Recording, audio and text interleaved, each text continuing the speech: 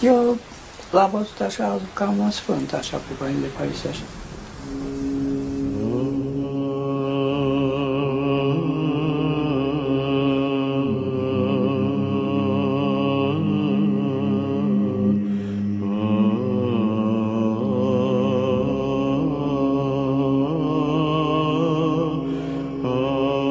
Ce caută omul în pustie?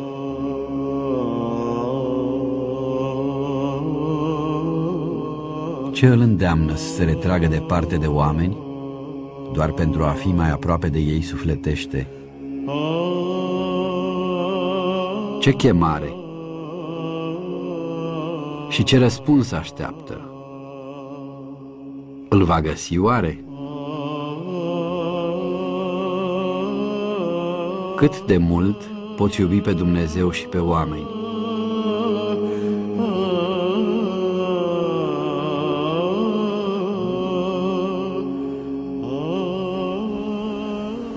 Codrii seculari din ținutul neamțului, șuierul vântului printre ramuri pare a spune povești.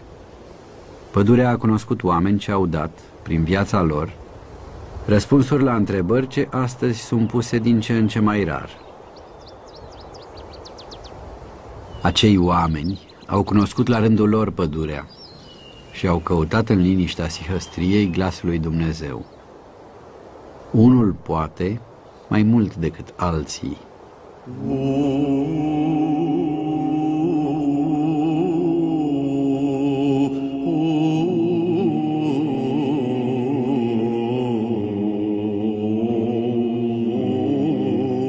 Paisie duhovnicul, așa îi se zicea. Din tinerețe iubește natura, florile, izvoarele, câmpul înverzit și cerul înstelat. Îi sunt dragi slujbele mănăstirești, cântările din miezul nopții, poezia și singurătatea, dar mai presus de toate, îi sunt dragi oamenii, călugării nevoitori, țăranii artesoare de la câmp, mamele cu mulți copii, tinerii nevinovați, bătrânii împovărați de ani și credincioși iubitori de Hristos. Pe toți îi primește cu dragoste, îi ascultă, îi mărturisește, îi binecuvântează, căci Părintele Paisie este deopotrivă duhovnic iscusit atât pentru călugări, cât și pentru mireni. Așa îl descrie arhimandritul Ioanichie Bălan.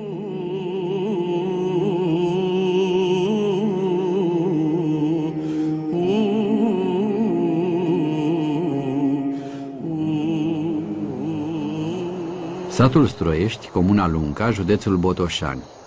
Aici, în iunie 1897, vedea lumina zilei cel de-al cincilea copil al familiei Olaru.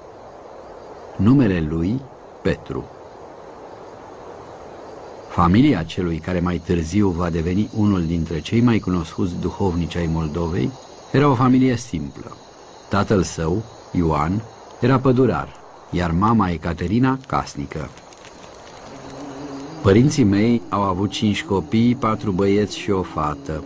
Cel mai mic dintre ei am fost eu. Mi-aduc aminte că tata m-a dus la școala din sat pentru prima dată și m-a prezentat profesorului meu de atunci cu numele Șandru. La noi în sat nu se învățau mai mult de trei clase primare. În acești trei ani am fost premiantul clasei. Pe atunci se dădeau ca premii cărți cu viețile sfinților. Sigur că mă mândream. Viețile sfinților l-au îndemnat pe tânărul Petru spre călugărie, după cum el însuși mărturisea, și dragostea pentru Domnul. În 1914 izbucnește primul război mondial. Rămas orfan de mamă din 1913, tânărul Petru este înrolat pe front. Se va întoarce cu bine de pe frontul din Ungaria la sfârșitul războiului în 1918. La întoarcere, Petru Olaru primește din partea statului român 5 hectare de pământ. Le va lăsa însă fraților săi, pentru că în 1921 va intra în viața monahală la schitul Cozancea. Aici, în schitul aflat în apropierea satului natal, în vara anului 1922, Petru Olaru devine Paisie. Eu găsesc că am în jur de 16-17 părinți, dintre care unii erau foarte bătrâni, ei au cunoscut pe primii stariți ai schitului după 1800, 1753, de când a fost construită actuala biserică. Și câțiva părinți îmbunătățiți cu viață duhovnicească, cum era Părinte Calenic, care și-l ales ca duhovnic, care avea râvnă pentru rânduiala bisericii. Cum spunea Părintele Paisie, că venea cu jumătate de oră înainte de a începe slujba și îl trezea. Și al fi mai tânăr și mai obosit, uneori cârtea. Deși avea puțin viețuitori, schitul Cozancea i-a oferit tânărului monah Paisie șansa să întâlnească părinți înduhovniciți. Nicon Drăguleanu, un părinte diacon, un practicant al rugăciunii lui Isus. Mărturii avem despre el și la Părinte Cleopa, care spunea că de multe ori își lua o traistă, un băț și înconjura pădurea noastră, care este destul de mare. Părinte care și-a vestit sfârșitul, chiar.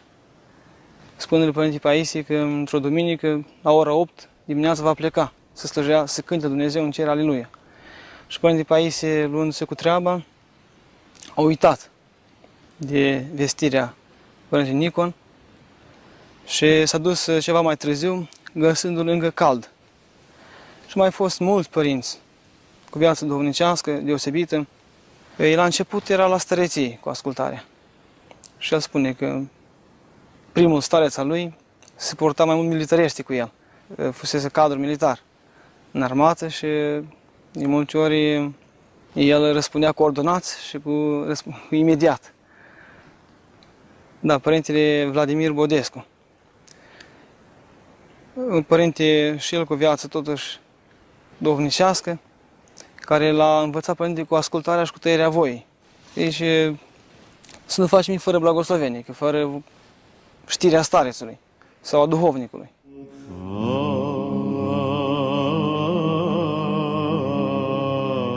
Departe, ascunsă între dealurile împădurite ale neamțului, o altă mănăstire îl aștepta pe părintele Paisie.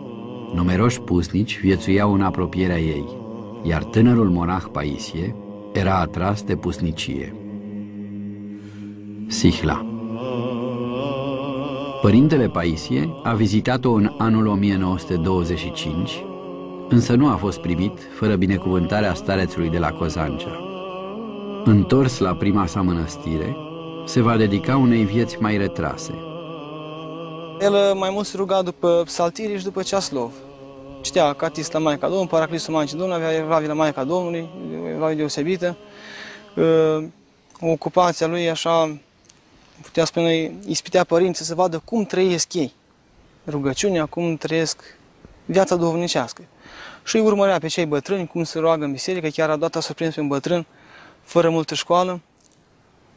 Și bătrânul se ruga la icoana Sfântului Nicolae și spunea, bre Nicolae, bre, eu sunt bătrân, tu ești bătrân. Vezi ce faci cu mine, bre. Deci un om care se ruga fără împrăștiere și simplu. Va învăța tot ce se putea învăța de la monahii mai în vârstă pe care îi întâlnea. Fiecare avea ceva de transmis, un sfat, un gând sau un gest. Iar uneori, tăcerea îi spunea mai mult decât orice. Mai urmărea cum își fac metanile, cum se închină, spunea cum bătrânul făcea sute de metani până la o mie chiar și mai mult. El l-a primit la dânsul în casă să doarmă și celălalt a început să facă metani, crezând că Părinte Paisie doarme, dar el de fapt urmărea să vadă cum trăiește, cum se roagă el. Și celălalt a început să facă metani, a numărat până la 800 și a adormit. Și bătrânul a rămas să facă metani în continuare. Spunea că când făcea Sfânta Cruce, pocneau umerii de la boandă, bondiță, cum se spune, cea haină tradițională, făcută din piei de oaie. În 1930, noul legumen îi dă binecuvântare să-și construiască o căsuță cu trei chilii într-o poieniță lângă mănăstire. Aici se va nevoi 18 ani.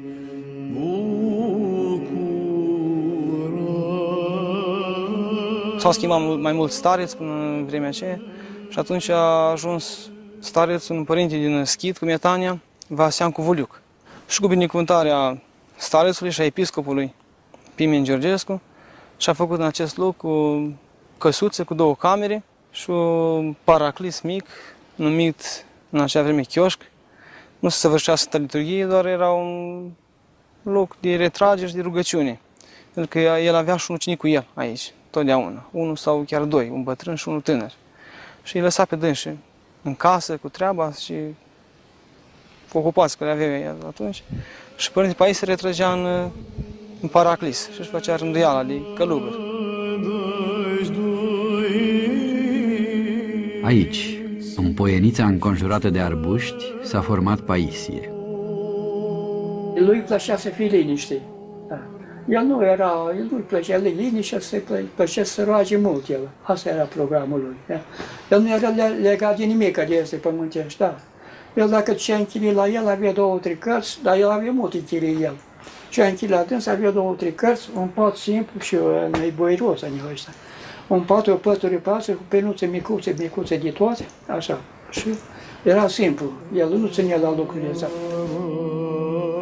Marea schimă o va îmbrăca în 1933, iar în 1947 va fi hirotonit preot și duhovnic. A ajuns ce stare, în 47, el spune pentru o curcătură, i-a venit și lui rândul să guste din, să guste din acest pahar al stăreției. Și a durat o jumătate de ani. Jumătate de ani. A fost stareț. Spune el că n-a fost ajutat de părinți sau le era rușine lor de dânsul, pentru că nu era un om cu carte, nu avea diplome de astea. În această perioadă leagă o prietenie strânsă cu părintele Cleopa. În toamna anului 1935, duhovnicul de la Sihăstria s-a oprit la Cozancea. Cei doi monahi își promit prietenie veșnică. Doamne, binecuvântează făgăduința noastră ca să fim amândoi împreună și în veacul acesta și în cel ce va să fie. De voi muri eu întâi, să fie el la capătul meu, iar de va muri el întâi, să fiu eu la capul lui. Amin. Și ne-am sărutat amândoi și ne-am despărțit. De părintele Cleopa sunt legat cu inima cel mai mult în viața aceasta. Părintele Cleopa și cu frații lui veneau foarte des la Cozancea pentru că părinții părintele Cleopa se ocupau cu păstoritul oilor. Și aveau stâna undeva lângă schit, nu departe. Și ei ajungeau cu oile la, la schit, unde se sfătuiau cu părintele Paisie. Chiar părintele Cleopa spune undeva că dacă n-ar fi fost părintele Paisie de la Cozancea, poate nici eu și nici frații mei nu urmam calea mănăstirii. Prietenia celor doi va rămâne vie întreaga viață. Păi era prieten bun, se cunoștea de la Cozan și Părinte Clep a fost oșnicul lui. La Cozan și acolo, da. El, fratele Vasile, era Sâm, da, au stat acolo, la Cozan și restul pădure acolo, e un schid, dar în pădure, așa. Și e aproape de pădure acolo. Și eu, prima dată acolo au fost ei acolo. Zice că au fost crescuți de dânsul, așa. Și apoi până Părintele Cleopa să le trasă în coașe, că venise fratele lui, mai înainte și fratele Vasile sau Gerasmus, care venise aici, și apoi că s-o retras și la aici. Dragostea părintelui Paisie pentru liniștea Sihăstriei îl va îndemna să părăsească Cozancea. Se simțea prea aproape de familie, iar visul unei chilii de lemn într-o inimă de codru îi era viu în minte.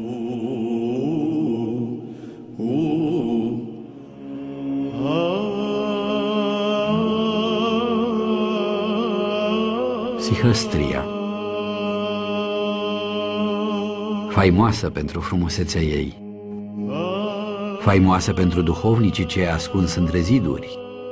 Întemeiată în anul 1655 de către mitropolitul Gedeon al Moldovei, Sihăstria a păstrat tradiția începută de doritorii de pusnicie, precum Sfântul Cuvios Daniel Sihastru. Aici va sosi în 1948 și Părintele Paisie, Starețul mănăstirii era nimeni altul decât vechiul său prieten, părintele Cleopa Ilie. Aici va fi cunoscut drept duhovnicul de la Sihăstria, blând, după cum și-l amintesc mai toți ucenicii. Părintele Paisie a fost un om al lui Dumnezeu. Era o asprime doar de fațadă, ascunsă în dosul ochelarilor, dar de fapt inima sa avea o mare, o profundă înțelegere și bunătate pentru omul căzut pe drumurile vieții. De aceea, poate la chilia lui, în anii când a făcut misiune la Mănăstirea Slatina din Ținutul Fălticenilor și apoi la Schitul Sihla și la Mănăstirea Sihăstria, au poposit nenumărați oameni care îl căutau pe Dumnezeu. El a fost duhovnicul celor mulți, al celor care nu aveau renume. Deci asprimea lui era doar una afișată în realitate, el a fost un munte de bunătate. Părintele Maise a știut să-și uh, îmbine blândețea aceea de care atât de mult toți o căutăm. Însă asta nu înseamnă că în spovedanie părintele nu-ți așeza tot ce se poate numi morala părintească, dar cu dulceață. Cât de greu ar fi fost acel păcat, așa știa părintele, să spună să nu mai faci. Aparent părea cel mai ușor canon. Să nu mai facem, cam asta este canonul. Dacă n-ai probleme prea grele, să nu mai facem. Părintele era socotit foarte bun, cu toate că părea așa sever, așa și uh, te, parcă te, te sfiai. Dar după, aceea, după ce îl cunoșteai, era bunătatea, bunătatea lui Dumnezeu. Introvertit, fără a fi un mare predicator, Paisie își va dedica viața miilor de oameni ce au trecut prin fața chiliei lui. Mulți, din toată, toată starea, de toată mâna, cum se spune. Și miren, și călugă, și călugărițe. Cel puțin noi mergeam, mergeam și noaptea, pentru că așa era nu era timp, era ascultare multă până seara și mergeam și noaptea în grup, mergeam la părinte. Sau la o nevoie. Și vă dau exemplu. Odată o maică mi-a spus că cu tare soră vrea să plece din mănăstire. Avea o ispită. Cea mai ușoară ispită să plece din mănăstire. Și m-a rugat colega ei de cameră neapărat să mă duc la părintele cu ea. Că părintele sigur o va îndrepta pe calea cea bună. Și am plecat plecat noaptea, prin noiembrie, pe la 8 seara, că atunci am scăpat cu treaba, atunci am putut să fim libere. și am plecat, făceam o oră jumate până acolo. Era toamna, aveam o pungă de struguri, mutam dintr-o mână în alta în tăcere și ne făceam un proces de conștiință, că fiecare ne spovedeam acolo. Și mai era și un băiat întâmplător, era la mănăstire și ne-a însoțit, așa ca să fie și un protector, un înger păzitor. Și îmi făceam oarecare gânduri, mai ajunge pe la 9 jumate, 10, îl deranjăm părintele care se scula la miezul nopții. Dar am să-i spun, părinte, nu se putea, trebuia să vin, să salvăm sufletul ăsta. Dar părintele a fost atât de blând, nici nu dormea. Ne-a primit, ne-a făcut uh, molifta dinainte de spovedanie, ne-am spovedit pe rând, așa când a ajuns la mine. A zis, m-am îmbrățișat, zice, nu mai pleacă, nu mai pleacă, zice. Și așa s-a bucurat. Și noi am venit cântând cântările Catavasile Vierii de bucurie, deci îți, producea, îți inducea o bucurie extraordinară. Uh, cerească, bucurie de rai. Oamenii se schimbau în preajma părintelui. Îi transforma. Marele duhovnic, prin excelență, este doar Mântuitorul Hristos. Duhovnicii care vor să-L urmeze pe El trebuie să privească mereu la felul cum Mântuitorul Hristos s-a purtat cu oamenii păcătoși, cu femeia păcătoasă, cu vameșul Zaheu. Pe toți i-a iertat, dar întâlnirea cu el i-a schimbat viața, le-a schimbat viața. Așa era și întâlnirea cu Părintele Paisie. Schimba viața oamenilor. Poetul Ion Alexandru. Dânsul a stat, stătea și pe aici, pe la noi, pe la Agapea. Și era prieten cu Părintele Ioaniche și mergeau adesea la părintele și odată s-a dus să spovedească. După ce s-a spovedit, s-a întors unde avea gazda aici, la Agape, la o căsuță, chiar la casa Magistăreț, Eustochia. Și ceva nu era în regulă cu el. Parcă avea o jumătate de cap limpede și jumătate de cap așa ca o ceață. S-a gândit el ce se întâmplă. Și a amintit că nu spusese ceva. Și în puterea nopții s-a dus și a mărturisit și a venit zburând acasă. Iar soția lui Ulvine, am înțeles, nu știu cine spunea, poate chiar dânsa sau copiii că a ieșit plângând și desculță, nu mai se uita pe pietre de pietre ascuțite de bucurie. Am mers odată cu un pădurar. Acela zicea, am o bucurie și așa după aceea iar vin negurele, iar vin încercările, iar vin ispitele și iar urcă muntele la părintele și ne curăță de păcate și ne slobozește.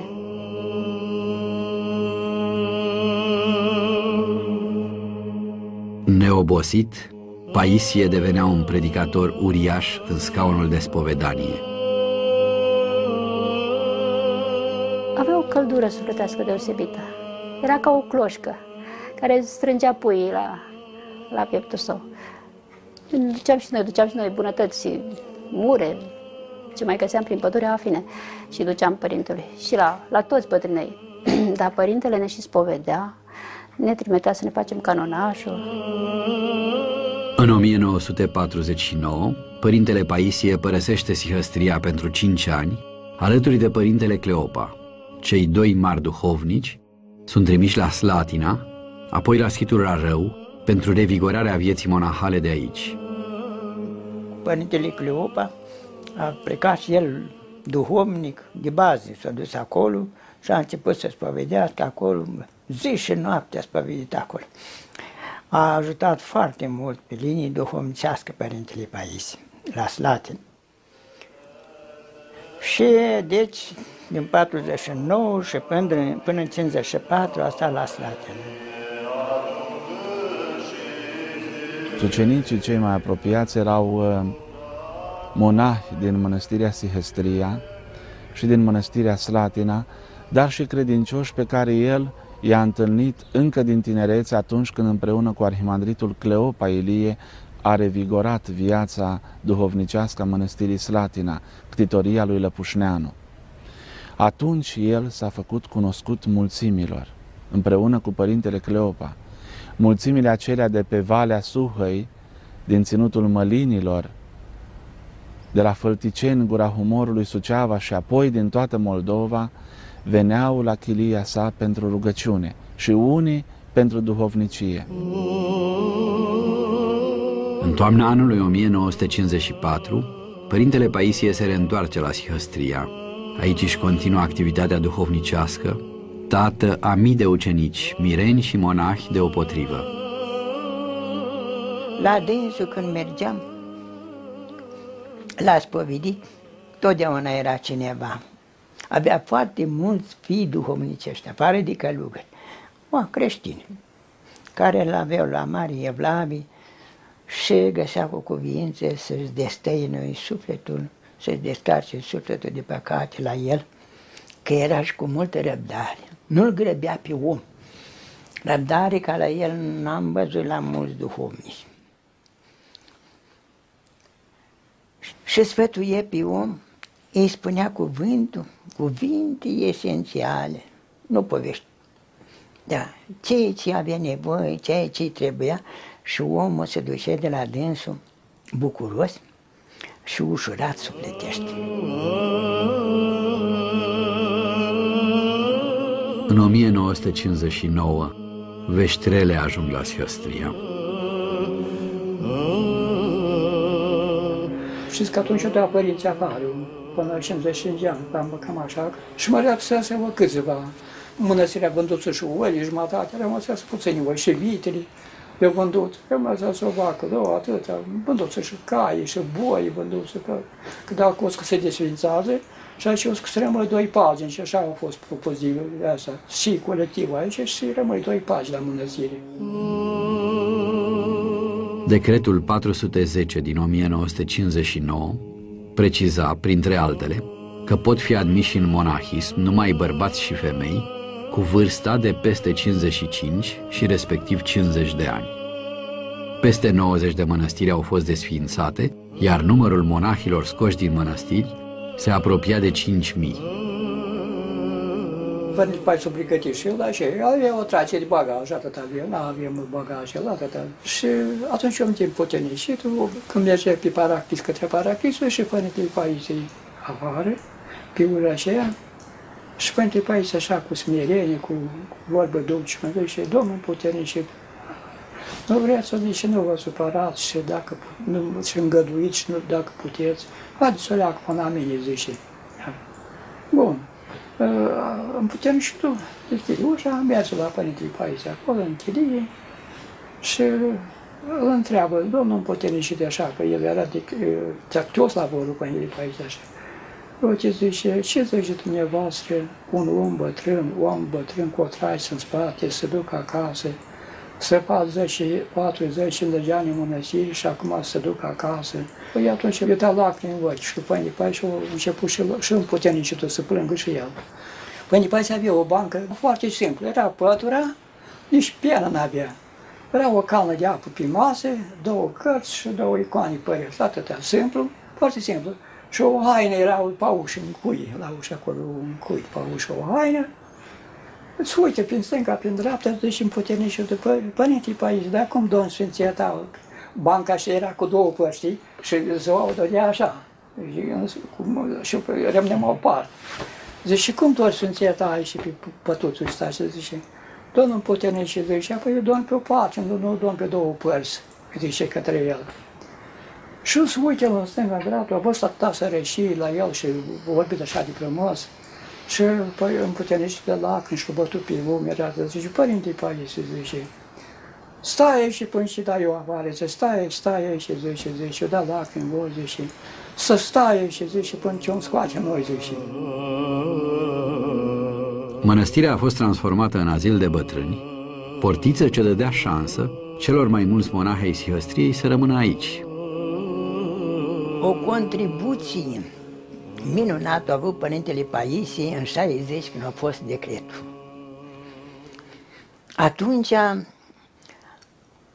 nu voiau, nu, nu se putea, era tulburare mare și călugări și mai călugărițe de la și care i-au scos afară de mănăstire și nu, nu, mai ales care erau făcuți făgăduință ca să se dezbrace de haina asta, să rămâi civil, era foarte greu. Și atunci vineau la dânsul. Și, și eu venit lui în minte, i-a spus istorioarea asta, povestea asta. Am să vă spun o, o istorioare, zice. Un om merge, se ducea undeva, la țară, nu știu, un țăran, la țară, și avea o galeată în mână. Și a văzut că vine ploaie. Ce să facă el acum? Era în câmp, deschis, nici un adăpost, nimic. Ce să fac eu acum că mă ude luar că mă face ploaia? Zice, să uite el încoace, în dreapta, în stânga, nu vede nicio, nicio posibilitate ca să scape de ploaie, să stea la adăpost până trece ploaia. Și atunci s-a gândit el, ei, N-ar să mă aude ploaia asta. S-a dezbrăcat de toate hainele și le-a pus cu gă- în găleată și le-a turn- a răsturnat găleata cu fundul în sus și el s-a așezat pe găleată și l-a plouat bine și a făcut o baie frumoasă și după ce a trecut ploaia s-a îmbrăcat cu hainele uscate și s-a continuat drumul unde mergea. Așa să facem și noi. Dacă o vine, zice, acum furtuna asta pe capul nostru,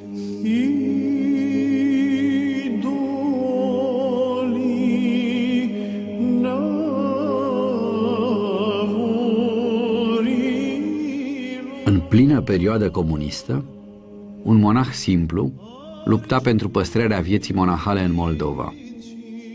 Printre cei care așteptau la chilia lui s-au aflat și oameni importanți ai vremii, chiar ai regimului care se afla la putere în vremea aceea și care aveau încredere în rugăciunea lui.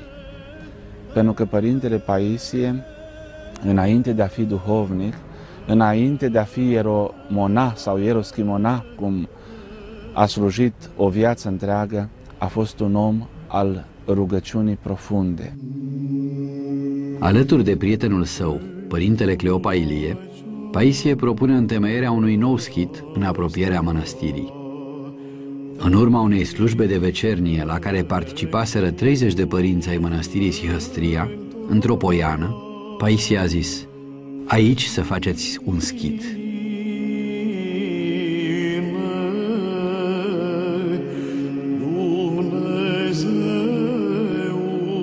Astăzi, în acel loc se ridică schitul Poiana lui Ioan, nume dat după un bătrân pusnic ce viețuise în zonă.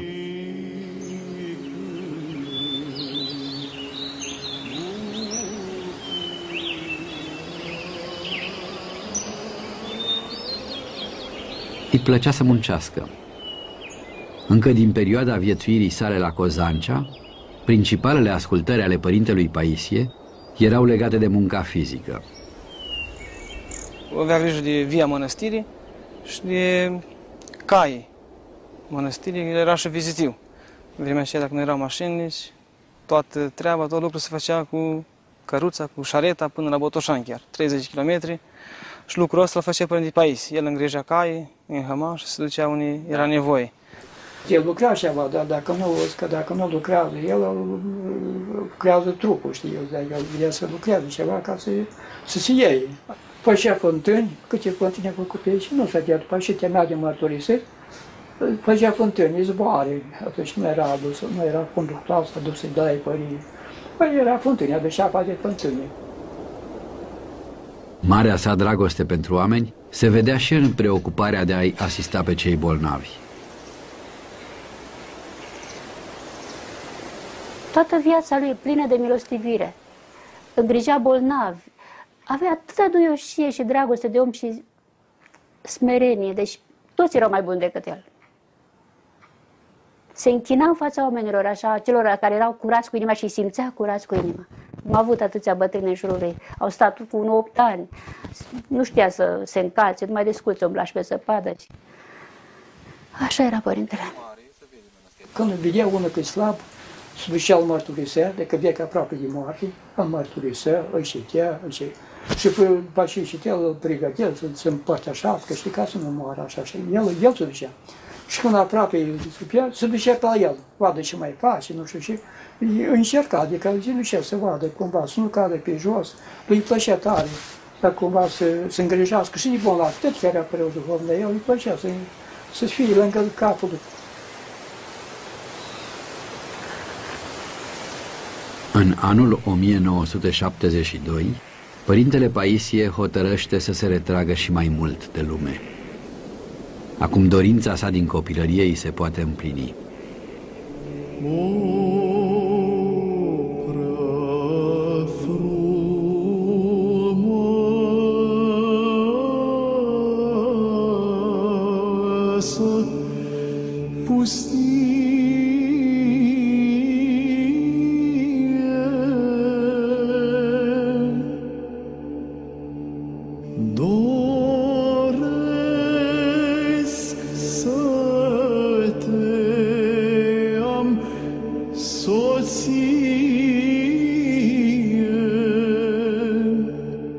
Sihla. Soție. Deși aproape de Sihăstria, schitul era mai greu accesibil vizitatorilor. De altfel, liniștea pădurilor din împrejurimi atrăsese și pe Teodora, sfânta ce astăzi este cunoscută sub numele de la Sihla. Atacurile repetate ale turcilor în părțile Vrancei și Buzăului o determinaseră pe sfântă să se îndrepte mai mult spre sălbăticie.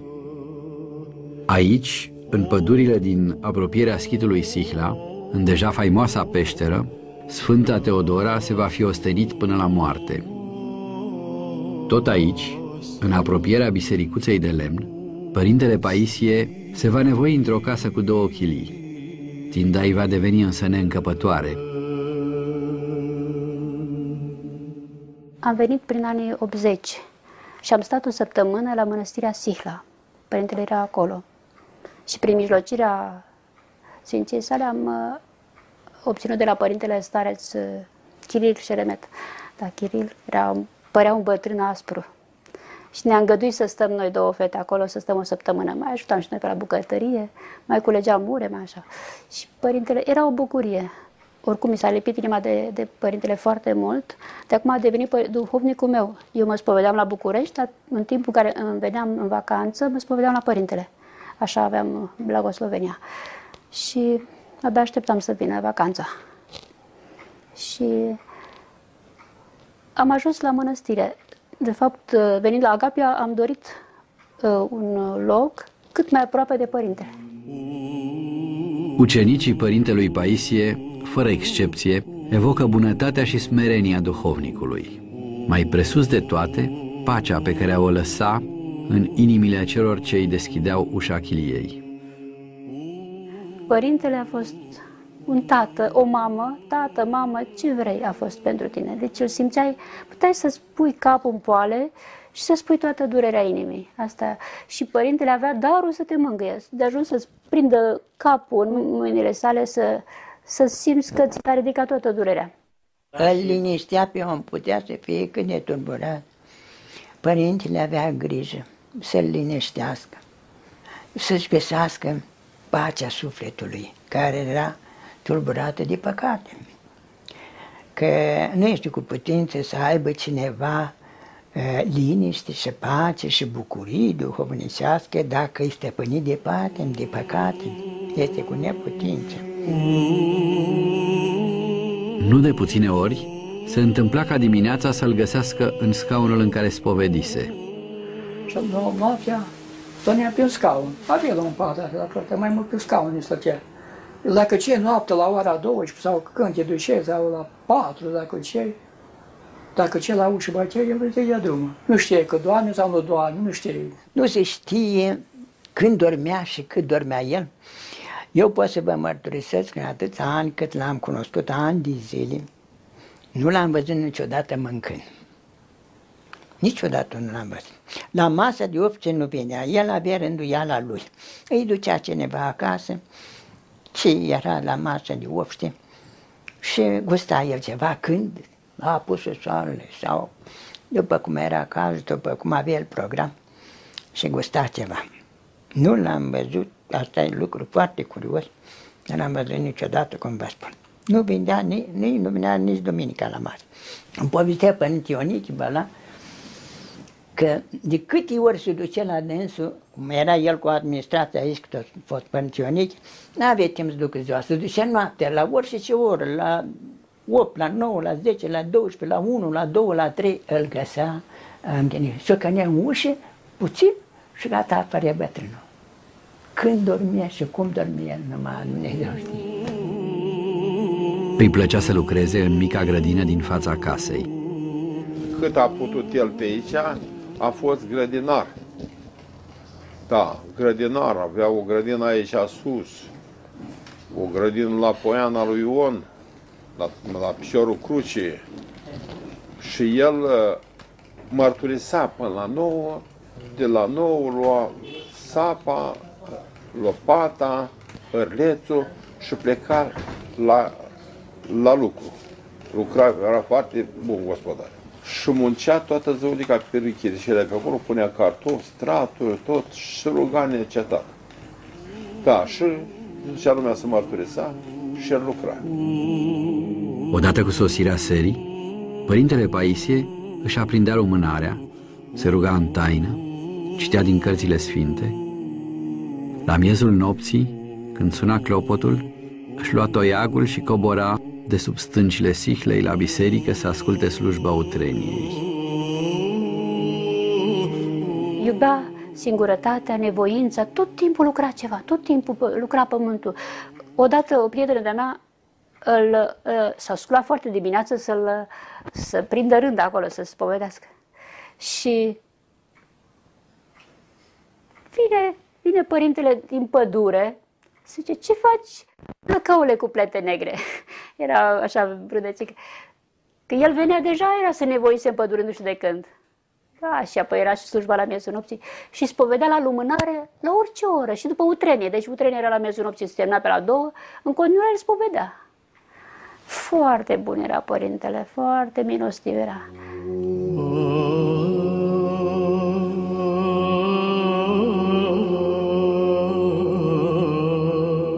La Sihla se va osteni până în 1985. În vârstă de 88 de ani, bolnav din cauza unei afecțiuni la un picior, părintele se reîntoarce la Sihăstria, unde putea fi ajutat mai ușor. Bucuria noastră A fost intensă, dar n-a durat mult, pentru că eu am venit în 83 și părintele în 85 deja a trebuit să coboare, a făcut o arterită. Am dus așa pe, par, pe ascuns un doctor acolo, mi-a recomandat un medicament și acum cum să le duce medicamentele acelea? Eram și noi naive și ne gândeam că gata, medicamentul ăla o să-l vindece pe părintele, o să-l ajute măcar. Și am plecat într-o iarnă la două noaptea, sâmbătă noaptea spre duminică, și trei fete, trei mogăldețe, am plecat la două noaptea pe un viscol îngrozitor. Se astupau urmele în urmă. Cădeam, ne ridicam, iar cădeam, iar înaintam. Ceea ce făceam drumul, îl parcurgeam în o oră jumate, acum am făcut trei ore. De la două la cinci abia am ajuns la părintele. Era acolo unde e clopotnița acum, într-o căsuță mică și avea dureri foarte mari de la arterita asta. Deci nu, nu ajungea sângele până la degetul mare și acolo avea dureri foarte mari. Și eu de la ușă am zis, părinte, sunt din America medicamentele astea ca să fiu mai convingătoare și mai, să fiu mai, mai sonor. Zice, și părintele, ne-am îngâiat, ne-a spovedit, ne-a blagoslovit și a zis cuvântul ăsta așa de frumos. El știa ce e afară și cum am venit. Dragostea învinge frica. A Sfântului Pavel. Dar era foarte optimist el.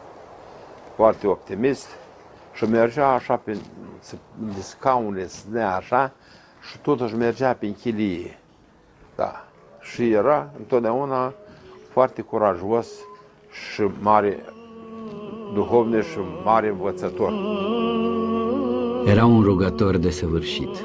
Contemporanii își amintesc rugăciunile simple, cuprinzătoare, pe care părintele le rostea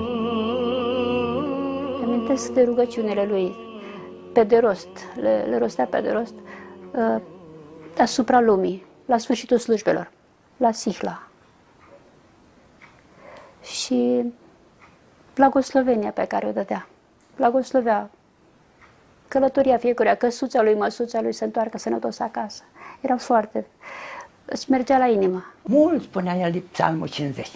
Ne dea așa la călugări și la frați, la monachi și la surori și la credincioși să zică de șapte ori pe zi psalmul 50. Da.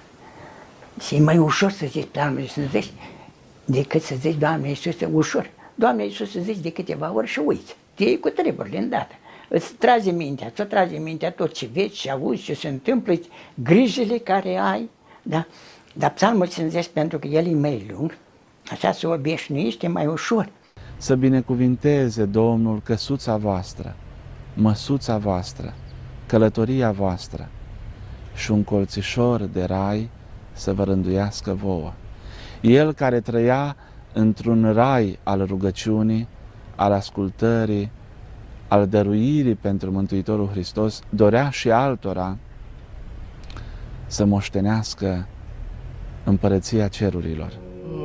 Își mai amintește și de mila sa față de orice suflet. Pe toți vrea să-i mântuiască și să-i folosească, mai ales printr-un cuvânt și prin rugăciune. Deci avea darul rugăciunii și darul lacrimilor, plângea pe tine acolo, plângea pe tine. Și tu te spovedeai. Zicea, părinte, zic, am supărat pe sora cu tare sau nu mă iartă sau ce spune, smerete-te tu. Apoi el plângea și zicea, dar să vezi eu, zice, uite, zice, pierd un ac și bănuiesc că l-a luat cineva. Deci iată ce păcate mari făcea părinte. Dragostea acopere mulțimii de păcate. Dragostea dumnezeiască a făcut de să pogorim Mântuitorul. Dragostea față de lumea asta l-a făcut pe Mântuitorul să pătrânească. Dragostea a întărit pe Sfinții Mucenici să pătrânească și primească chinuri. Dragostea și cu frăția mult întrece bogăție.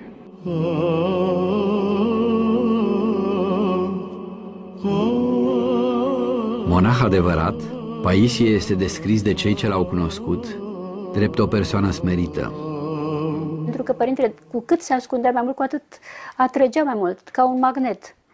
Ca un magnet, deși era simplu, nici nu, aparent nu avea un har deosebit să predice, să vorbească, mai ales că l-am prins într-o perioadă de vârstă, de vârstă înaintată și trebuia să fii atent să înțelegi cuvântul.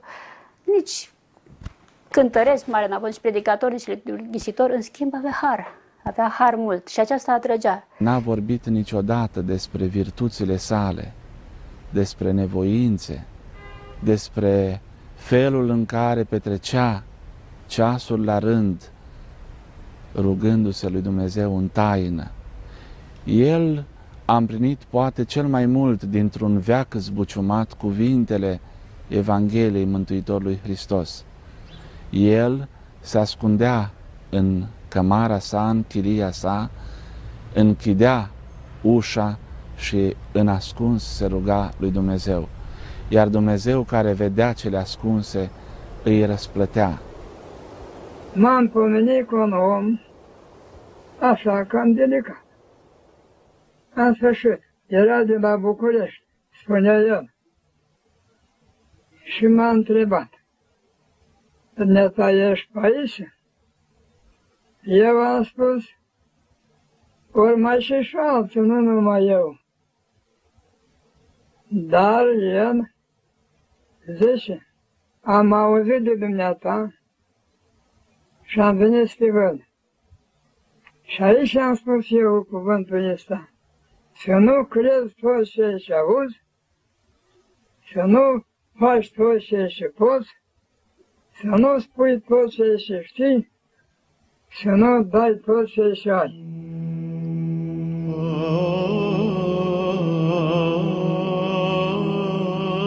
Rugat să vorbească despre rugăciunea inimii, a răspuns, Ce este rugăciunea inimii?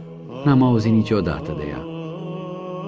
Rugăciunea inimii nu se spune. Oricine o are, o pierde dacă spune. Face așa reclamă de dânsa.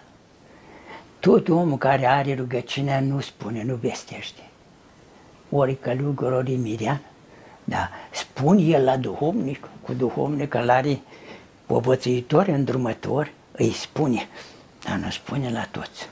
Și nu e ușor să ai rugăciunea. Că mulți au încercat și s-au înșelat. Rugăciunea nu e în inime și a minte, nu e, nu e un lucru ușor. Da, unii îl văd ușor. Poți să zici așa, să te rogi, cum spun Sfinții Părinți, plugăria sufletului, Doamne Iisus Hristos, Dumnezeu milește păcătos, încă să ajungi, să ajungi să ai rugăciune permanentă, acela e darul rugăciunii. Cum spune Sfântul Macare în omilii lui, zicea a ne ruga, a ne ruga, oricum, stă în puterea noastră. A ne ruga cu adevărat este darul lui Dumnezeu. Nici deprinderea acestei rugăciuni nu a fost ușoară. Așa Părinte Daniel, Dumnezeu să ierte, că l-am cunoscut și pe ceala, Părinte Paizie și Sfinția ta rugăciunea inimii. Părinte Paizie, da, el nu și-o dat seama. Părinte, preacubeați, Părinte, n-am, și n-am, n-am, am poate nesmerenie. Ei, atunci, dacă n-ai, uite-te bani, chirie și acolo, și stai pe un scaunel, eu spus, știi că în partea stângă, așa, și zice, Doamne, eu spus cum să ia, în parte, puțin capul așa plecat, și face rugăciunea inimii. L-a închis pe pâine de pace acolo într-o chirie, de seara mâncare, mătea pe un cineva, să dea mâncare și lua să închis. Părinte Pace o să, dar să ai tot ziua închis, nu poți să omul care învăța să mai lucreze pe vară. Bine greu să stai tot ziua. Te rogi, ai două, trei, patru ori, dar nu mai pot mai mult, te doare capul, te doare, merg cu Doamne cu sus, te doare cam capul așa. Și păi, o stat la acolo, o să mă și afară. Și părintele ceala, părintele Daniel, el era în sare acolo, și Părintele Paisie că pătatul rugăciunea inimii, dar Părintele Paisie, el, fără să-și iau seama, deci nu am căpătat-o, zice. Ei, gata, deci mai stai o săptămână închis. Și apoi Părintele Paisie mai stat încă o săptămână și apoi Părintele Paisie am măcăru din smerenie, l-a întrebat, ai, Părintele Paisie, ai căpătat rugăciunea inimii? Da, Părinte, am căpătat. Învățăturile sale, formulate scurt, asemeni celor ale părinților din vechime, sunt pline de har. Nu vorbea mult, numai când trebuia. El a împlinit cuvântul Sfântul, Sfântului Apostol Iacov, ruda Domnului, că fraților zice să fim grabnici a asculta și zebavnici a vorbi. Așa a făcut Părintele Paisie, vorbea cuvinte, se uita la om, îl măsura așa cu mintea lui și cât îl lumina Dumnezeu îi spunea omului ce iese de folos și atât, nu mai mult. Avea la inimă lucrul ăsta, dragostea dintre frați, dintre surori. Mergeam la Crăciun să-l colindăm sau așa. Dragostea și cu frăția întreg bogăția. Asta avea la inimă, dragostea și milostivirea să ai, când vii la o nouă spovedanie, să vii să mai omori un păcat, să mai lași o clevetire, să mai, mai pui în trăistuță ceva bun, în trăistuță.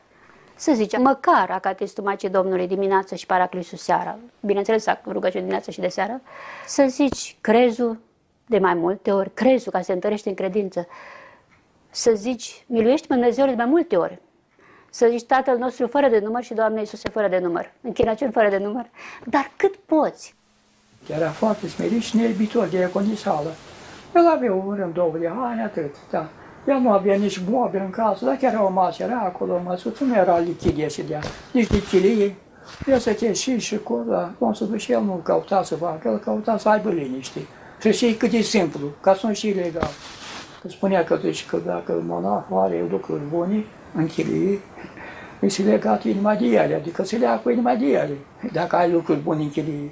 Ce uite Domnul, zice, dacă ai lucruri bune, că așa este, na, dacă ai, na. Și dacă ai lucruri bune, trebuie să speli. Da.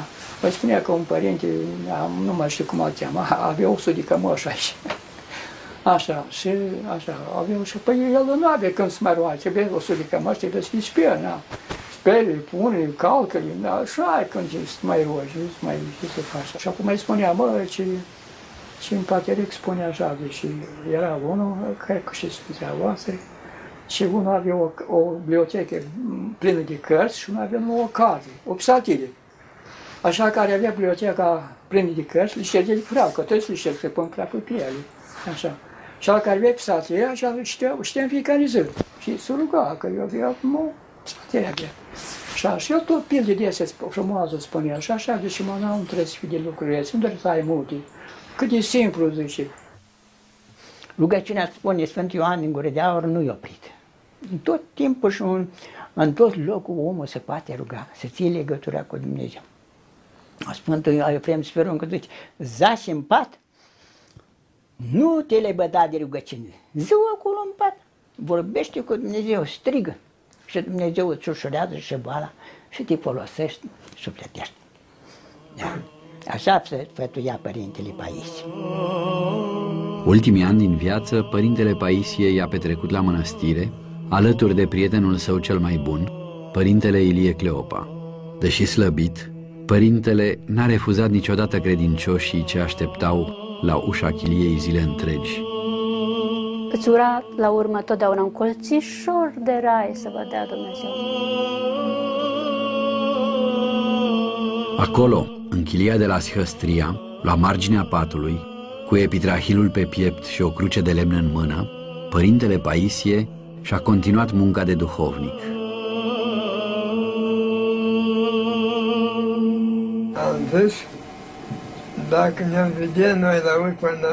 La ușă, e greu. Dacă îmi fi văzut la ușă, comandă mân, ține clampa ușă și nu mă lăsa ușa milostivirii deschide. Și atunci deschide. Mântuitorul spune acolo că s-a rugat pentru așa. Iată-le, Părinte, că nu știu ce fac.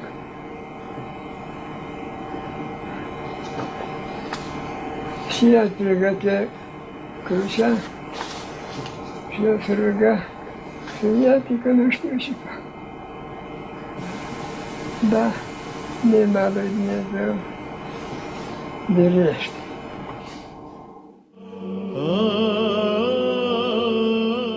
În ultimii patru ani ai vieții, ieroschimonahul Paisie a zăcut mai mult la pat, în chilia sa, îngrijit cu dragoste și atenție de ucenicul lui cel mai apropiat, monahul Gerasim.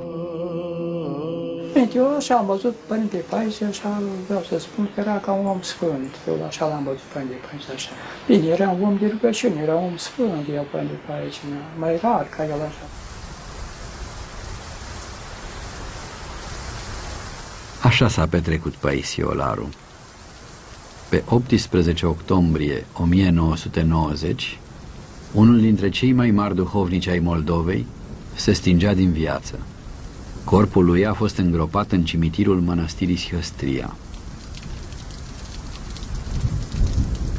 Ca erodiacon am participat la înmormântarea părintelui Paisie și am făcut parte din soborul de slujitori. La mormântarea sa, cei mai mulți au fost călugării.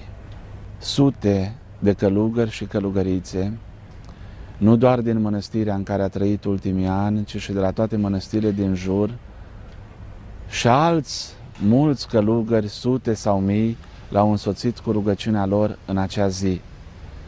Pentru că Părintele Paisie s-a dăruit fiecăruia, s-a rugat pentru toți. Inima lui i-a cuprins pe toți.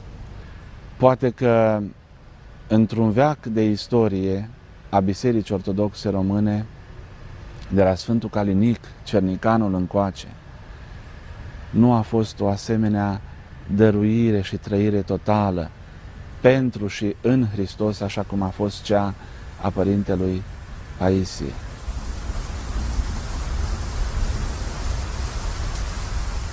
Mai târziu, alături va fi îngropat Părintele Cleopa Ilie.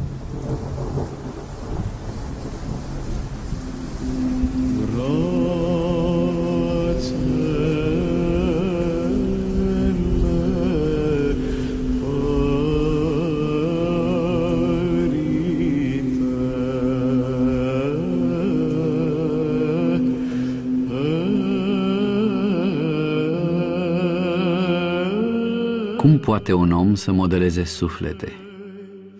De ce le ajută?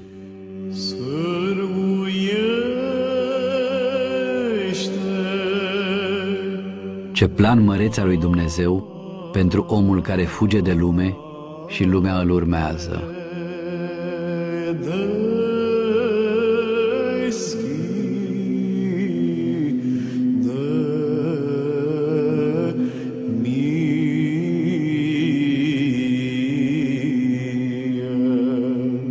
Cam capul așa. Și păi, o stat la acolo, o să mă mai și afară. Și părintele ceala, părintele Danil, eu eram sare acolo, și Părintele Paisie că căpătat rugăciune, dar Părintele Paisie, el, fără să-și dea seama, deci nu am căpătat-o, zice. Ei, gata, deci mai stai o săptămână închis. Și apoi Părintele Paisie o mai stat încă o săptămână și apoi Părintele Paisie am măcul din smerenie, Dumnezeu, m-a întrebat, ai, Părintele Paisie, ai căpătat rugăciune? Da, Părinte, am căpătat. Învățăturile sale, formulate scurt, asemeni celor ale părinților din vechime, sunt pline de har. Nu vorbea mult, numai când trebuia. El a împlinit cuvântul Sfântul, Sfântului Apostol Iacov, ruda Domnului, că fraților zice să fim grabnici a asculta și zebavnici a vorbi. Așa a făcut Părintele Paisie, vorbea cuvinte, se uita la om, îl măsura așa cu mintea lui și cât îl lumina Dumnezeu îi spunea omului ce iese de folos și atât, nu mai mult. Avea la inimă lucrul ăsta, dragostea dintre frați, dintre surori. Mergeam la Crăciun să-l colindăm sau așa. Dragostea și cu frăția întreg bogăția. Asta avea la inimă, dragostea și milostivirea să ai, când vii la o nouă spovedanie, să vii să mai omori un păcat, să mai lași o clevetire, să mai, mai pui în trestuță ceva bun, în trestuță. Să zice, măcar acatistul Maicii Domnului dimineață și paraclisul seara, bineînțeles rugăciune dimineață și de seară, să zici crezul de mai multe ori, crezul ca să se întărește în credință, să zici, miluiește Dumnezeu de mai multe ori, să zici Tatăl nostru fără de număr și Doamne Iisuse fără de număr, închinăciuni fără de număr, dar cât poți. Era foarte smerit și neibitor de econisală. El avea un rând, două de ani, atât, da. El nu avea nici mobil în casă, dar chiar o masă era acolo, măsuță, nu era lichidie și de nici de chilie. El să te și și cu, da, cum să duce, el nu căuta să facă, el căuta să aibă liniște. Și știi cât de simplu, ca să nu și legal. Că spunea că, deci, că dacă monahul are lucruri bune în chilie, îi se legat inima de ele, adică se leagă cu inima de ele, dacă ai lucruri bune în chilie. Ce uite Domnul, zice, dacă ai lucruri bune, că așa este, na, dacă ai, na. Și dacă ai lucruri bune, trebuie să speli. Da. Păi spunea că un părinte, nu mai știu cum îl cheamă, avea o de cămăși aici. Așa, și așa, avea și, păi el nu avea când să mai roage, trebuie o de cămăși, trebuie să-i speli, na. Speli, pune, calcă na, așa, când să mai rogi, să mai ce să faci. Și acum mai spunea, mă, ce, și în Pateric spune așa, deși... Grădinar. Da, grădinar, avea o grădină aici sus, o grădină la Poiana lui Ion, la, la piciorul crucii. Și el uh, mărturisea până la nouă, de la nouă lua sapa, lopata, hărlețul și pleca la, la lucru. Lucra, era foarte bun gospodar și muncea toată zăulica perichii și de pe acolo punea cartofi, straturi, tot și ruga necetat. Da, și zicea lumea să mărturisa și el lucra. Odată cu sosirea serii, părintele Paisie își aprindea lumânarea, se ruga în taină, citea din cărțile sfinte. La miezul nopții, când suna clopotul, își lua toiagul și cobora de sub stâncile sihlei la biserică să asculte slujba utreniei. Iubea singurătatea, nevoința, tot timpul lucra ceva, tot timpul lucra pământul. Odată o prietenă de-a mea îl, ă, s-a sculat foarte dimineață să-l, să prindă rând acolo, să se povedească. Și vine, vine părintele din pădure, zice, ce faci Plăcăule cu plete negre. Era așa brudățică. Că el venea deja, era să nevoise în pădure, nu știu de când. Da, și apoi era și slujba la miezul nopții și spovedea la lumânare la orice oră și după utrenie. Deci utrenie era la miezul nopții, se termina pe la două, în continuare îl spovedea. Foarte bun era părintele, foarte milostiv era.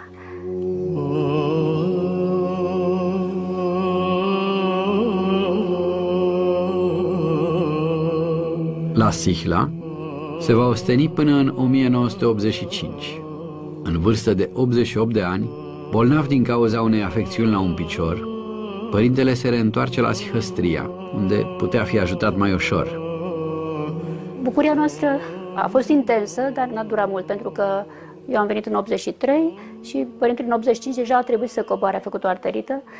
Am dus așa pe, pe ascuns un doctor acolo, mi-a recomandat un medicament și acum cum să le duce medicamentele acelea? Eram și noi naive și ne gândeam că gata, medicamentul ăla o să-l vindece pe părintele, o să-l ajute măcar.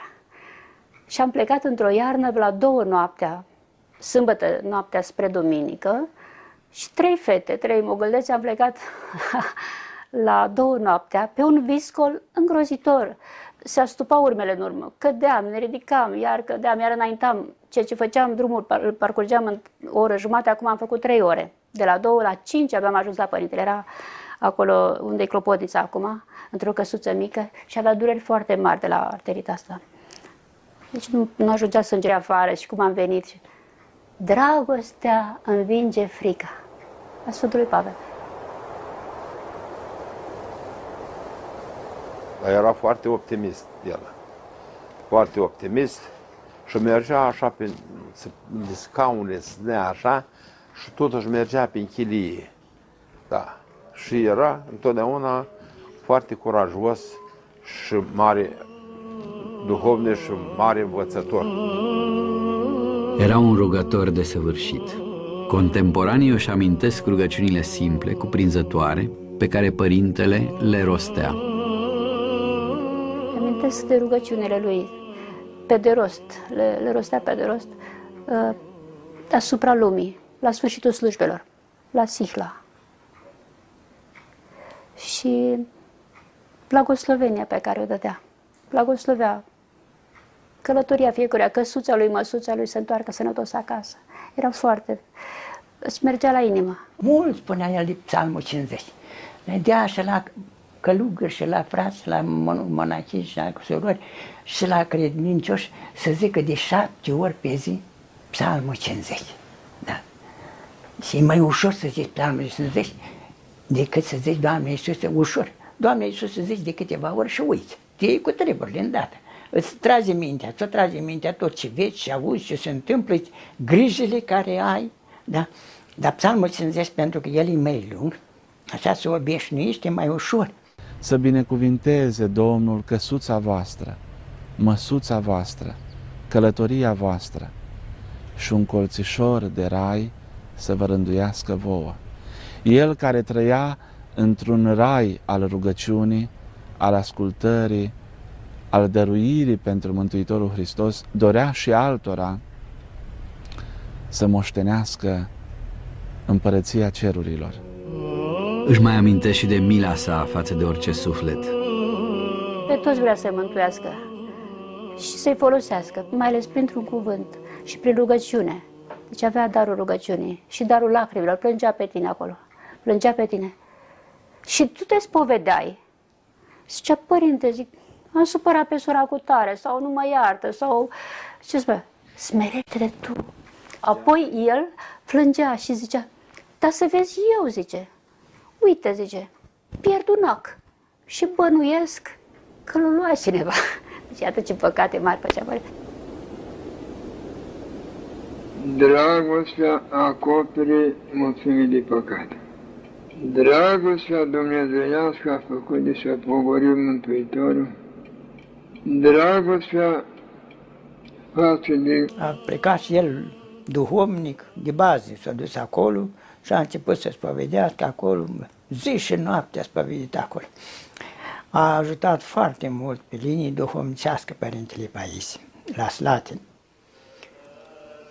Și deci, din 49 și până, până în 54 a stat la Slatin. Ucenicii cei mai apropiați erau uh, monahi din mănăstirea Sihestria și din mănăstirea Slatina, dar și credincioși pe care el i-a întâlnit încă din tinerețe atunci când împreună cu arhimandritul Cleopa Ilie a revigorat viața duhovnicească a mănăstirii Slatina, ctitoria lui Lăpușneanu. Atunci el s-a făcut cunoscut mulțimilor, împreună cu părintele Cleopa. Mulțimile acelea de pe Valea Suhăi, din ținutul Mălinilor, de la Fălticeni, Gura Humorului, Suceava și apoi din toată Moldova, veneau la chilia sa pentru rugăciune și unii pentru duhovnicie.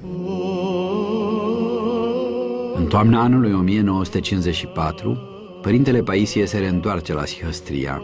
Aici își continuă activitatea duhovnicească, tată a mii de ucenici, mireni și monahi deopotrivă. La dânsul când mergeam, la spovedit, totdeauna era cineva.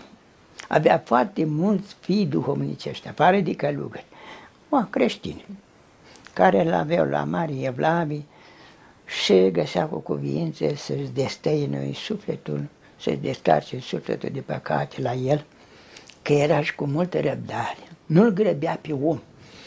Răbdare ca la el n-am văzut la mulți duhovnici. Și sfătuie pe om, îi spunea cuvântul, cuvinte esențiale, nu povești. Da, ceea ce avea nevoie, ceea ce trebuia și omul se duce de la dânsul bucuros și ușurat sufletește. În 1959, veștrele ajung la Sihăstria. Știți că atunci dea părinții afară, până la 55 de ani, cam, cam așa, și mă reapsese vă câțiva. Mănăstirea vândut și oi, jumătate, rămăsese puțini oi și vitele, le vândut, rămăsese o vacă, două, atâtea, vândut și cai și boi, vândut că, că dacă o să se desfințează, și aici o să rămâne doi pagini și așa a fost propus de asta, și colectiv aici și rămâne doi pagini la mănăstire.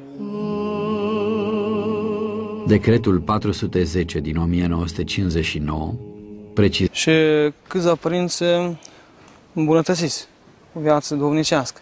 Cum era Părinte Calinic, care și l-a ales ca duhovnic, care avea râvnă pentru rânduiala bisericii. Cum spunea Părintele Paisie, că venea cu jumătate de oră înainte de a începe slujba și îl trezea. Și al fi mai tânăr și mai obosit, uneori cârtea. Deși avea puțini viețuitori, schidul Cozancea i-a oferit tânărului monah Paisie șansa să întâlnească părinți înduhovniciți. Nicon Drăguleanu, un părinte diacon, un practicant al rugăciunii lui Isus. Mărturii avem despre el și la Părinte Cleopa, care spunea că de multe ori își lua o traistă, un băț și înconjura pădurea noastră, care este destul de mare. Părinte care și-a vestit sfârșitul, chiar.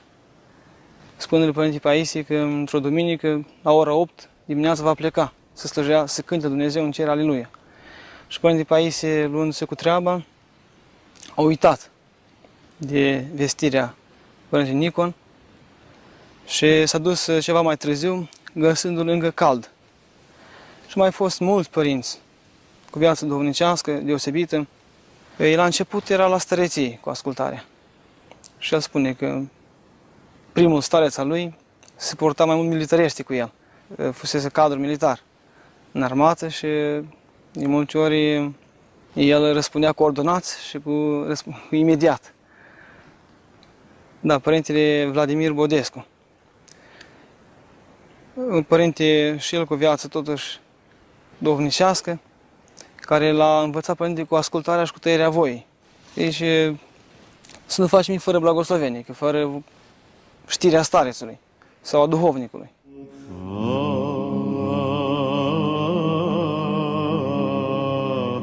Departe, ascunsă între dealurile împădurite ale neamțului, o altă mănăstire îl aștepta pe părintele Paisie. Numeroși pusnici viețuiau în apropierea ei, iar tânărul monah Paisie era atras de pusnicie. Sihla Părintele Paisie a vizitat-o în anul 1925, însă nu a fost primit fără binecuvântarea starețului de la Cozancea. Întors la prima sa mănăstire, se va dedica unei vieți mai retrase. El mai mult se ruga după psaltirii și după ceaslov. Citea catist la Maica Domnului, Paraclisul Maicii Domnului, avea evlavii la Maica Domnului, evlavii deosebită. Ocupația lui, așa, putea spune, ispitea părinții să vadă cum trăiesc ei. Rugăciunea, cum trăiesc viața duhovnicească. Și îi urmărea pe cei bătrâni, cum se roagă în biserică, chiar a dat a surprins pe un bătrân, fără mult. Acatistul Maicii Domnului dimineața și Paraclisul seara, bineînțeles rugăciune dimineața și de seară, să zici crezul de mai multe ori, crezul ca să se întărește în credință, să zici miluiește Dumnezeu de mai multe ori, să zici Tatăl nostru fără de număr și Doamne Iisuse fără de număr, închinăciuni fără de număr, dar cât poți. Era foarte smerit și neibitor de econisală. El avea un rând, două de haine, atât, da. El nu avea nici mobil în casă, dar chiar o masă era acolo, măsuță, nu era lichidie și dea, nici de chilie. El să te și și cu, da, cum să duce, el nu căuta să facă, el căuta să aibă liniște. Și știi cât de simplu, ca să nu și ilegal.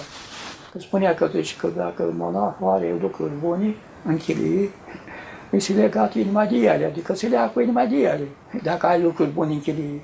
Ce uite Domnul zice, dacă ai lucruri bune, că așa este, na, dacă ai, na. Și dacă ai lucruri bune, trebuie de el. Da. Păi spunea că un părinte, nu mai știu cum îl cheamă, avea o de cămăși aici. Așa, și așa, aveau și, păi el nu avea când să mai roage, bine, o sută de cămăși, trebuie să fii sper, na. Spere, pune, calcă da, așa, când să mai rogi, să mai ce să faci. Și acum mai spunea, mă, ce, și în pateric spune așa, deci era unul, cred că și spunea voastră, și unul avea o, o bibliotecă plină de cărți și unul avea o carte, o psaltire. Așa care avea biblioteca plină de cărți, le șterge de praf, că toți le șterg, se pun praful pe ele. Așa. Și al care avea psaltire, așa știa, știa în fiecare zi. Și se ruga, că eu avea nu, psaltire avea. Așa, și el tot pilde de astea frumoasă spunea, și așa, deci mă, nu trebuie să fie de lucruri, nu trebuie să ai multe. Cât de simplu, zice. Rugăciunea spune Sfântul Ioan din Gură de Aur nu-i oprit. În tot timpul și în, în tot locul omul se poate ruga, să ție legătura cu Dumnezeu. Sfântul Efrem Sferon că zice, zași în pat, nu te le băda de rugăciune. Ziua acolo în pat, vorbește cu Dumnezeu, strigă. Și Dumnezeu îți ușurează și boala și te folosești sufletești. Da. Așa sfătuia Părintele Paisie. Ultimii ani din viață, Părintele Paisie i-a petrecut la mănăstire, alături de prietenul său cel mai bun, Părintele Ilie Cleopa. Deși slăbit, Părintele n-a refuzat niciodată credincioșii ce așteptau la ușa chiliei zile întregi. Îți ura la urmă totdeauna un colțișor de rai să vă dea Dumnezeu. Acolo, în chilia de la Sihăstria, la marginea patului, cu epitrahilul pe piept și o cruce de lemn în mână, părintele Paisie și-a continuat munca de duhovnic.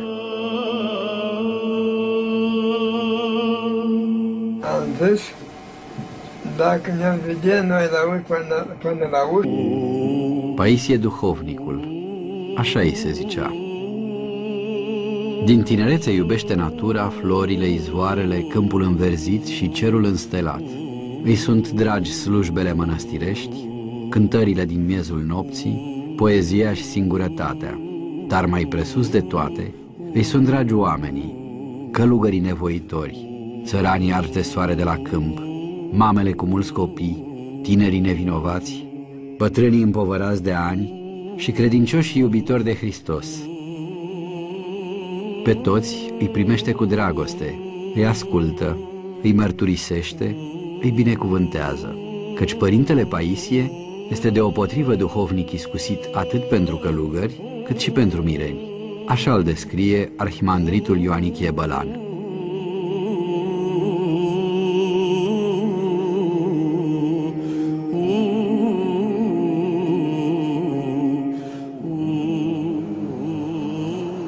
Satul Stroiești, comuna Lunca, județul Botoșani. Aici, în iunie 1897, vedea lumina zilei cel de-al cincilea copil al familiei Olaru. Numele lui Petru.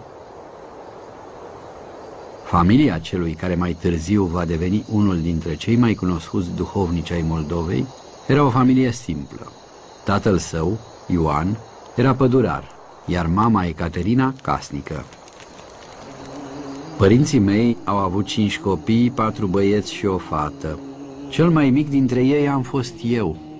Îmi aduc aminte că tata m-a dus la școala din sat pentru prima dată și m-a prezentat profesorului meu de atunci cu numele Șandru. La noi în sat nu se învățau mai mult de trei clase primare. În acești trei ani am fost premiantul clasei. Pe atunci se dădeau ca premii cărți cu viețile sfinților. Sigur că mă mândream. Viețile sfinților l-au îndemnat pe tânărul Petru spre călugărie, după cum el însuși mărturisea, și dragostea pentru Domnul. În 1914 izbucnește primul război mondial. Rămas orfan de mamă din 1913, tânărul Petru este înrolat pe front. Se va întoarce cu bine de pe frontul din Ungaria la sfârșitul războiului în 1918. La întoarcere, Petru Olaru primește din partea statului român 5 hectare de pământ. Le va lăsa însă fraților săi, pentru că în 1921 va intra în viața monahală la schitul Cozancea. Aici, în schitul aflat în apropierea satului natal, în vara anului 1920... Bătut pe umerează, zice, părinte Paisie, zice, stai aici și până și dai eu afară, zice, stai aici, stai aici, zice, zice, eu da lacrimi, voi, zice, să stai aici, zice, până ce o scoate noi, zice. Mănăstirea a fost transformată în azil de bătrâni, portiță ce dădea șansă celor mai mulți monahi ai Sihăstriei să rămână aici. O contribuție minunată a avut Părintele Paisie în 60 când a fost decretul. Atunci nu voiau, nu, nu se putea, era tulburare mare și călugări și mai călugărițe de la și care i-au scos afară de mănăstire și nu, nu, mai ales care erau făcuți făgăduință ca să se dezbrace de haina asta, să rămâi civil, era foarte greu. Și atunci veneau la dânsul. Și, și eu venit lui în minte, i-a spus istorioarea asta, povestea asta. Am să vă spun o, o istorioare, zice. Un om merge, se ducea undeva, la țară, nu știu, un țăran, la țară, și avea o găleată în mână. Și au văzut că vine ploaie. Ce să facă el acum? Era în câmp, deschis, nici un adăpost, nimic.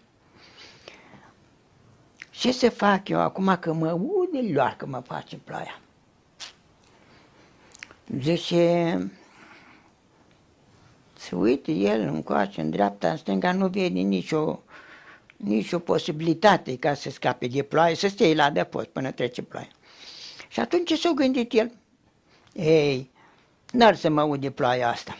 S-a dezbrăcat de toate hainele și le-a pus cu gă- în găleată și le-a turn- a răsturnat găleata cu fundul în sus și el s-a așezat pe găleată și l-a plouat bine și-a făcut o baie frumoasă și după ce a trecut ploaia s-a îmbrăcat cu hainele uscate și s-a continuat drumul unde mergea. Zice. Așa să facem și noi. Zice. Dacă o vine, zice, acum furtuna asta pe capul nostru,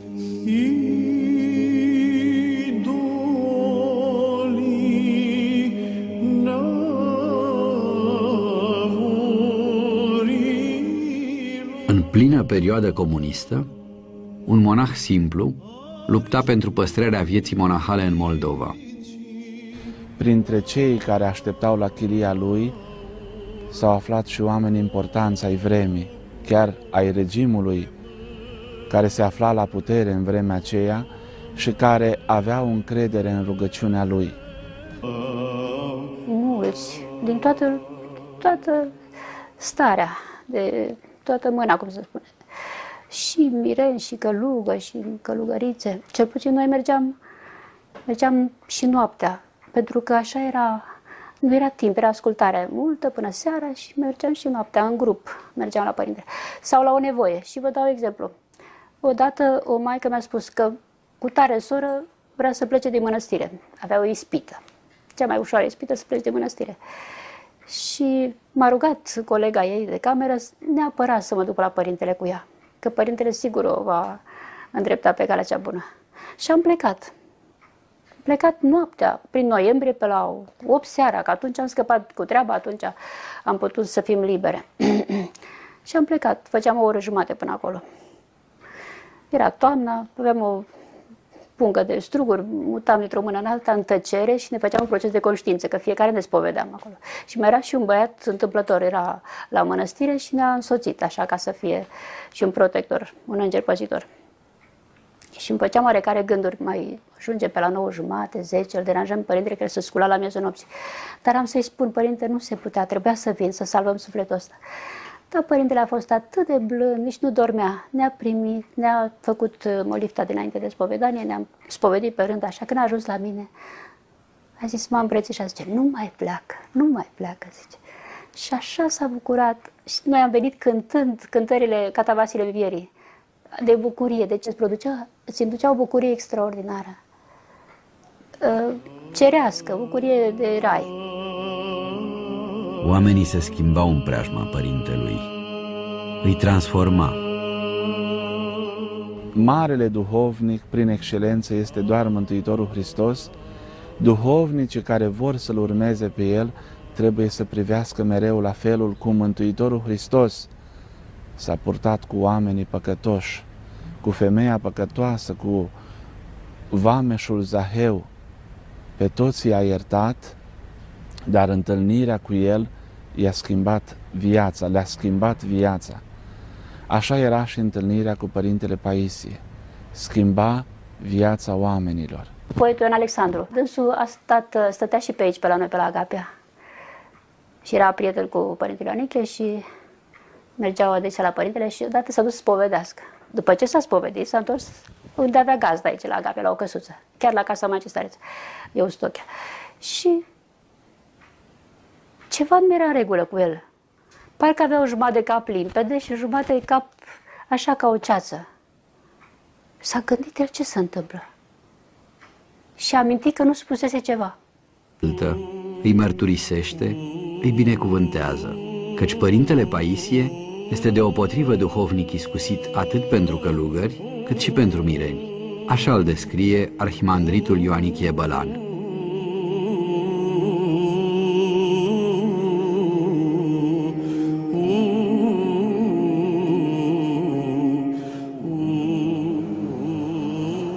Satul Stroiești, comuna Lunca, județul Botoșani. Aici, în iunie 1897, vedea lumina zilei cel de-al cincilea copil al familiei Olaru. Numele lui Petru. Familia celui care mai târziu va deveni unul dintre cei mai cunoscuți duhovnici ai Moldovei era o familie simplă. Tatăl său, Ioan, era pădurar, iar mama Ecaterina casnică. Părinții mei au avut cinci copii, patru băieți și o fată. Cel mai mic dintre ei am fost eu. Îmi aduc aminte că tata m-a dus la școala din sat pentru prima dată și m-a prezentat profesorului meu de atunci cu numele Șandru. La noi în sat nu se învățau mai mult de trei clase primare. În acești trei ani am fost premiantul clasei. Pe atunci se dădeau ca premii cărți cu viețile sfinților. Sigur că mă mândream. Viețile sfinților l-au îndemnat pe tânărul Petru spre călugărie, după cum el însuși mărturisea, și dragostea pentru Domnul. În 1914 izbucnește primul război mondial. Rămas orfan de mamă din 1913, tânărul Petru este înrolat pe front. Se va întoarce cu bine de pe frontul din Ungaria la sfârșitul războiului în 1918. La întoarcere, Petru Olaru primește din partea statului român 5 hectare de pământ. Le va lăsa însă fraților săi, pentru că în 1921 va intra în viața monahală la schitul Cozancea.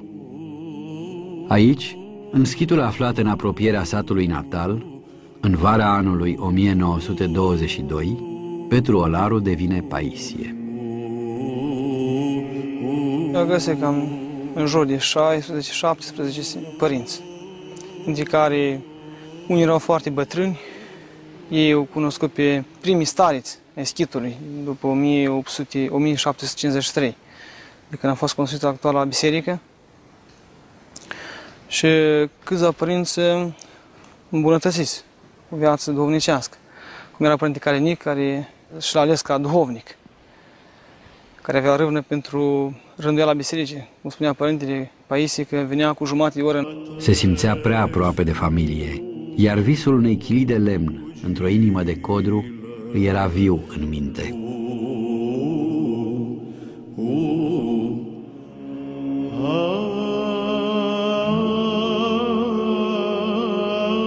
Sihăstria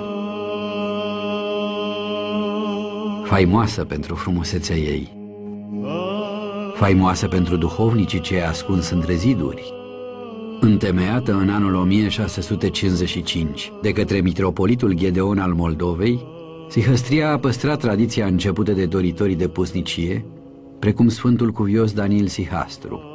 Aici va sosi în 1948 și Părintele Paisie. Starețul mănăstirii era nimeni altul decât vechiul său prieten, părintele Cleopa Ilie. Aici va fi cunoscut drept duhovnicul de la Sihăstria, blând, după cum și-l amintesc mai toți ucenicii. Părintele Paisie a fost un om al lui Dumnezeu. Era o asprime doar de fațadă, ascunsă în dosul ochelarilor, dar de fapt inima sa avea o mare, o profundă înțelegere și bunătate pentru omul căzut pe drumurile vieții. De aceea, poate la chilia lui, în anii când a făcut misiune la Mănăstirea Slatina din Ținutul Fălticenilor și apoi la Schitul Sihla și la Mănăstirea Sihăstria, au poposit nenumărați oameni care îl căutau pe Dumnezeu. El a fost duhovnicul celor mulți, al celor care nu aveau renume. Deci asprimea lui era doar una afișată. În realitate, el a fost un munte de bunătate. Părintele Aisie a știut să-și uh, îmbine blândețea aceea de care atât de mult toți o căutăm. Însă asta nu înseamnă că în spovedanie părintele nu ți așeza tot ce se poate numi morala părintească, dar cu dulceață. Cât de greu ar fi fost acel păcat, așa știa părintele, să se spună să nu mai faci. Aparent părea cel mai ușor canon. Să nu mai facem, cam asta este canonul. Dacă n-ai probleme prea grele, să nu mai facem. Părintele era socotit foarte bun, cu toate că părea așa sever, așa și uh, te, parcă te, te sfiai. Dar după, aceea, după ce îl cunoșteai, era bunătatea, puternică lui Dumnezeu. Introvertit, fără a fi un mare predicator, Paisie își va dedica viața miilor de oameni ce au trecut prin fața chiliei lui. Și abia așteptam să vină vacanța. Și am ajuns la mănăstire. De fapt, venind la Agapia, am dorit uh, un loc cât mai aproape de părintele. Ucenicii părintelui Paisie, fără excepție, evocă bunătatea și smerenia duhovnicului. Mai presus de toate, pacea pe care o lăsa în inimile celor ce îi deschideau ușa chiliei. Părintele a fost un tată, o mamă, tată, mamă, ce vrei a fost pentru tine. Deci îl simțeai, puteai să spui capul în poale și să spui toată durerea inimii. Asta. Și părintele avea darul să te mângâie, de ajuns să-ți prindă capul în mâinile sale, să, să simți că ți-a ridicat toată durerea. Îl liniștea pe om, putea să fie când e tulburat. Părintele avea grijă să-l liniștească, să-și găsească pacea sufletului, care era tulburată de păcate. Că nu este cu putință să aibă cineva liniște și pace și bucurii duhovnicească dacă este stăpânit de patim, de păcate, este cu neputință. Nu de puține ori se întâmpla ca dimineața să-l găsească în scaunul în care spovedise. Și noaptea stănea pe un scaun. Avea un pat dar mai mult pe scaun stătea. Dacă ce noapte la ora 12 sau când te duce sau la 4, dacă ce, dacă ce la ușă bătea, el îți ia drumul. Nu știe că doamne sau nu doamne, nu știe. Nu se știe când dormea și cât dormea el. Eu pot să vă mărturisesc că atâția ani cât l-am cunoscut, ani de zile, nu l-am văzut niciodată mâncând. Niciodată nu l-am văzut. La masă de obște nu venea. El avea rânduiala lui. Îi ducea cineva acasă, ce era la masă de obște și gusta el ceva când a pus soarele sau după cum era caz, după cum avea el program și gusta ceva. Nu l-am văzut, asta e lucru foarte curios, nu l-am văzut niciodată, cum vă spun. Nu vindea nici, nici, nu vinea nici duminica la masă. Îmi povestea Părinte Ionici Bala că de câte ori se duce la dânsul, cum era el cu administrația aici, că tot fost Părinte Ionici, nu avea timp să ducă ziua, se ducea noaptea, la orice ce oră, la 8, la 9, la 10, la 12, la 1, la 2, la 3, îl găsea întâlnit. Și-o cănea în ușă, puțin, și gata, apărea bătrânul. Când dormea și cum dormea, numai Dumnezeu știe. Îi plăcea să lucreze în mica grădină din fața casei. Cât a putut el pe aici, a fost grădinar. Da, grădinar, avea o grădină aici sus. După ce s-a spovedit, s-a întors unde avea gazda aici, la Agape, la o căsuță, chiar la casa magistareță, Eustochia. Și ceva nu era în regulă cu el. Parcă avea o jumătate de cap limpede și o jumătate de cap așa ca o ceață. S-a gândit el ce se întâmplă și a amintit că nu spusese ceva. Și în puterea nopții s-a dus și a mărturisit și a venit zburând acasă. Iar soția lui Ulvine, am înțeles, nu știu cine spunea, poate chiar dânsa sau copiii, că a ieșit plângând și desculță, nu mai se uita pe pietre de pietre ascuțite de bucurie. Am mers o dată cu un pădurar. Acela zicea, am o bucurie și așa după aceea iar vin negurile, iar vin încercările, iar vin ispitele și iar urcă muntele la părintele și ne curăță de păcate și ne slobozește.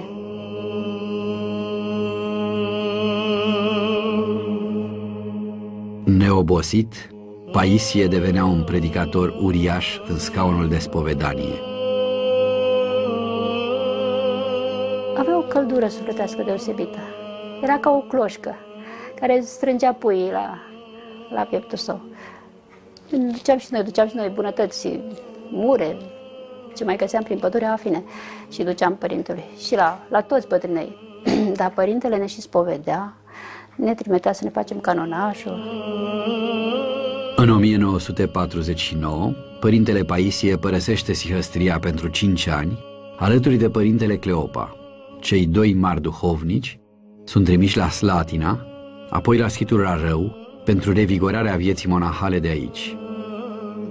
Părintele Cleopa a plecat și el duhovnic de bază, s-a dus acolo și a început să spovedească acolo, zi și noapte a spovedit acolo.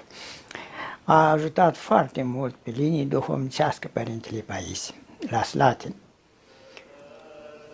Și deci, din 49 și până, până în 54 a stat la Slatin.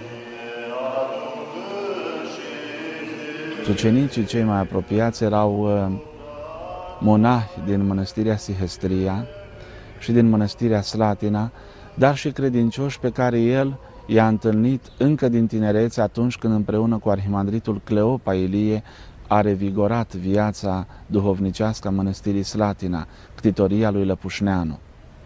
Atunci el s-a făcut cunoscut mulțimilor, împreună cu părintele Cleopa. Mulțimile acelea de pe Valea Suhăi, din ținutul Mălinilor, de la Fălticeni, Gura Humorului, Suceava și apoi din toată Moldova, veneau la chilia sa pentru rugăciune și unii pentru duhovnicie. În toamna